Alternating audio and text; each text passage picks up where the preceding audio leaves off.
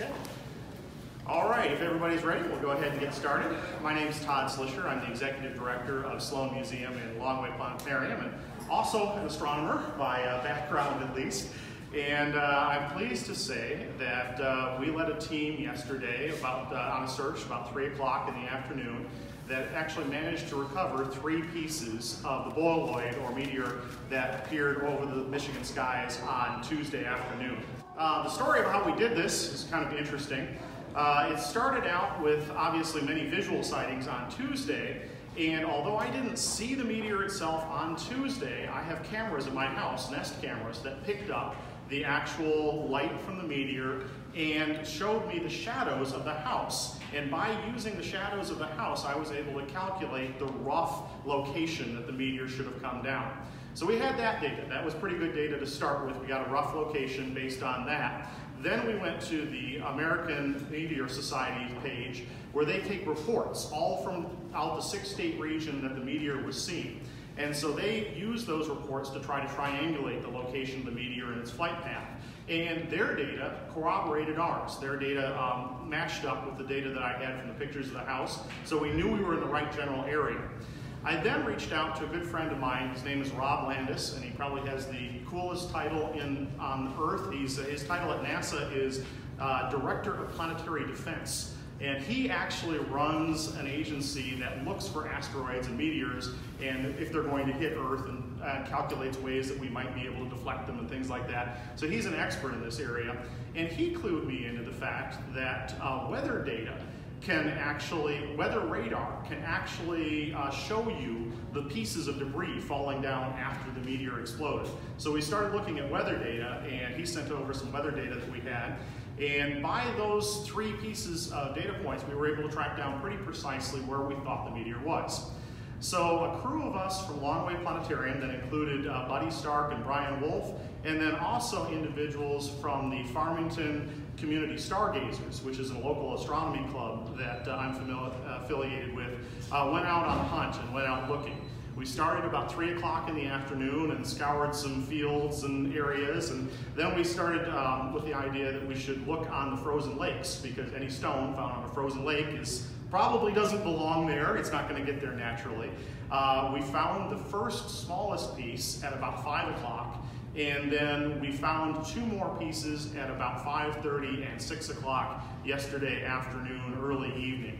Uh, then the sun started going down, we lost the light, so we weren't able to find any more. I'm not going to reveal the exact location that we found the meteorite fragments because I have a team out there right now looking for more. And so we're just going to say south of Howell right now is the general area that we were searching and looking for the meteorite fragments. So this morning, I have one of the fragments here. This is the one that I personally found. It was the first piece found, and it's the smallest. The other two will be here in the afternoon. Uh, Brian Wolf discovered the largest piece. He's also here from Longway. And then Tony Licata, who's a member of the Farmington Community Stargazers. Uh, he was a gentleman that found the medium-sized piece, and he'll be here this afternoon too. So we'll assemble all three pieces this afternoon and get some pictures there. But right now we have the smallest piece to show you, and uh, we have it actually in a container right over here. It's being kept on ice because in my communications with NASA, they would like to analyze this for organic material. And if we let it heat up to room temperature for too long, that material could actually either become compromised, could uh, melt, or if it's uh, water ice, uh, or water ices and things like that, it could melt. So we're keeping it frozen and cold, so we're only taking it out for short periods of time. We're also putting it on tinfoil uh, to keep it from interacting with any organic material. We don't want it to be uh, contaminated before we send it off to NASA. The other two pieces, uh, this piece we'll probably send to NASA, the other two pieces we'll keep here at Longway Planetarium and eventually put on, this, on permanent display.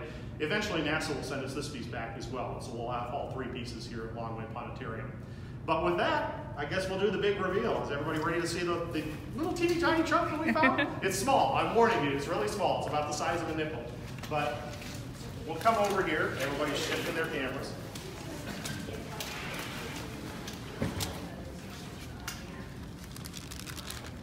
All right.